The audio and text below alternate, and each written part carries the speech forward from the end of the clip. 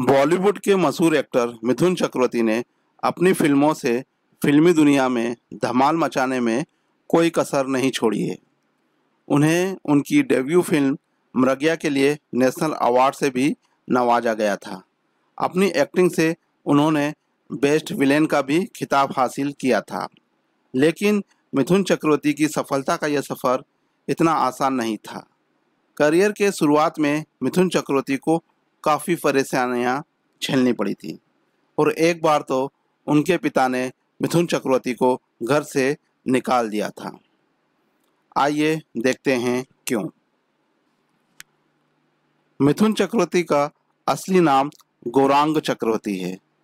पश्चिम बंगाल में जब नक्सल आंदोलन की शुरुआत हुई तो वो भी इससे जुड़ गए थे। हालाँकि जब पुलिस ने आंदोलन से जुड़े नेताओं पर कार्रवाई शुरू की तो मिथुन दा अंडरग्राउंड हो गए और काफ़ी समय तक छिपते रहे।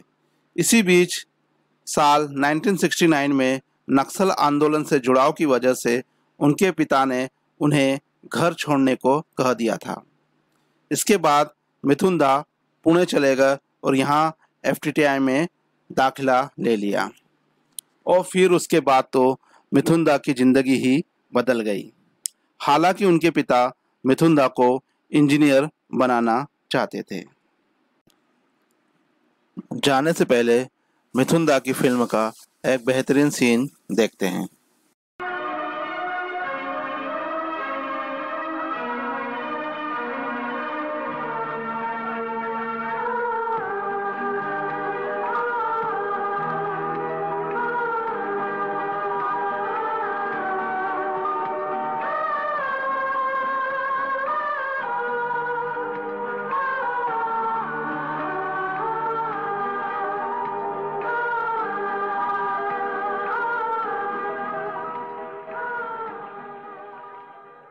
Эй, опять замечтался?